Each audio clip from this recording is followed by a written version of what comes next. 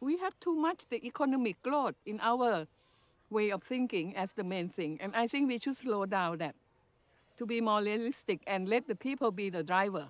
Let the people on the ground to be the driver. I have seen so many bad slum in my life where when you when you went there, people are so poor and you know like an animals and not uh, being accepted by the other. When the other thinking that they uh, they're poor, they cannot think about things, they're stupid and so on. They sometimes they believe they are. But once there's a change, and they start uh, picking up things and so on, oh, they're okay.